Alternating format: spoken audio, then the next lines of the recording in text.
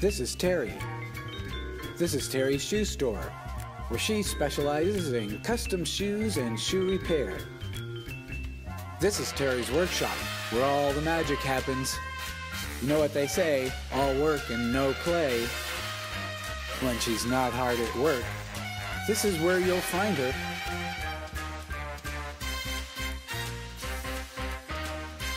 And this is Teri's YouTube channel. Fellow YouTubers! Welcome to my channel. This is Teri Edmonds. I'm coming to you today from 10,000 feet on Haleakala, the summit of Haleakala here on Maui. Um, today I'm talking. I'm doing a boot review on my Danner uh, line. This is called the Highground. I've had this boot out once before up in the forest with my uh, uh, hiking friend here, Mary.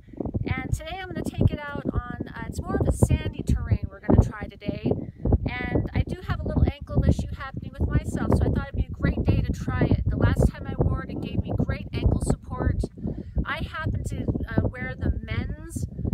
Uh, they offered in women and men's, but I'm wearing the men's because it comes a little bit wider. They don't offer wide sizes for women, so I suggest go a couple sizes um, down in a men's. So I wear a size nine women's. I'm so I would wear the men's seven.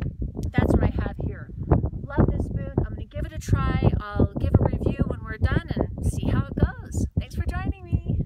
Here we are. Yay, Haleakala. It's awesome up here.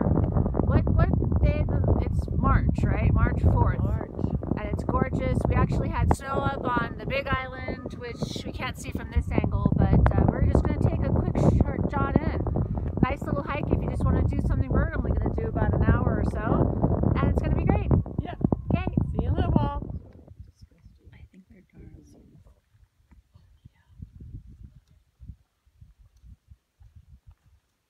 All right, so here we are, Mary and I. We're just doing a short trip today. Like we said, it's just something if you want to just kind of get an experience of the uh, crater, or what do we call it? Erosional depression.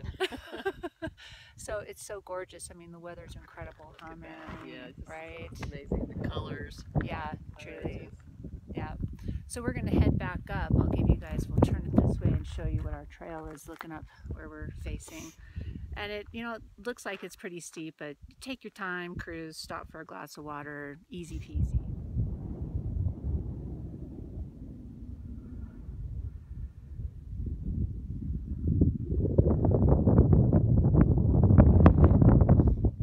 I tell Michelle to go to.